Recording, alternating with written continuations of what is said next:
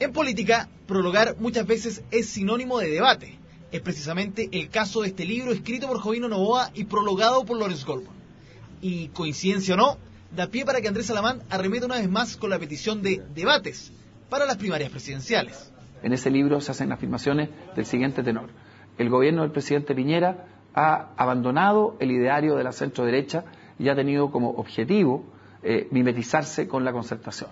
Yo lo que le digo es lo siguiente, yo no habría prologado un libro en que tiene afirmaciones como las que yo le acabo de señalar, sin por lo menos dejar salvada en forma explícita que yo tengo con eso una diferencia. Por ese prólogo, varios, y particularmente Andrés Salamán, consideran que Goldborn está de acuerdo con Novoa. Y, coincidencia o no, la discusión se genera justo cuando el candidato de RN ha protegido más que nunca la obra del gobierno. Este es un gobierno que ha hecho la pega y la ha hecho bien. Y de nosotros depende que el próximo gobierno siga adelante. Pero, ¿prologar un libro significa realmente comprometerse con su contenido? El prólogo tiene que tener cercanía, tiene que tener en general, no en el detalle, pero en general tiene que tener una una complicidad con el autor. Son cómplices ambos del libro.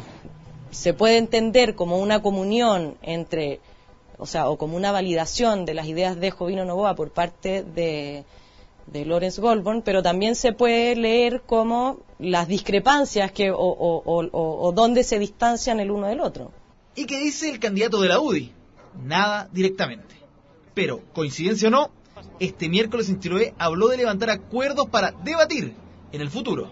He instruido a nuestro coordinador político, el senador Coloma, a nuestra coordinadora general, la señora Luz Granier, de que el día lunes, volviendo el senador Coloma, llamen ellos al comando de Andrés Alamán y pidan una reunión para que se sienten en la mesa y definamos cuáles son los calendarios que podemos compatibilizar para abordar este tema de una vez por todas. Lorenz Goldborn escribe para el libro de Nova. Habrá más de una interpretación para el actuar del gobierno. Y una vez más, coincidencia o no, también habrá más de una para su prólogo. Francesco Gazzella, CNN Chile.